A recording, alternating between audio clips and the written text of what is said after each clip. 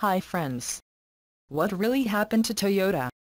Case Solution and Analysis Consumers were surprised in October 2009 by the first of a string of highly publicized recalls of Toyota vehicles in the USA.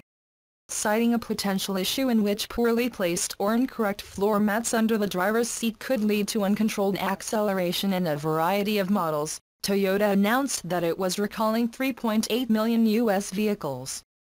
For making executives who have strived for decades to emulate Toyota, the mere idea that it had quality problems was a serious matter. All over the world, executives paused to wonder if they had been chasing after the making version that was incorrect.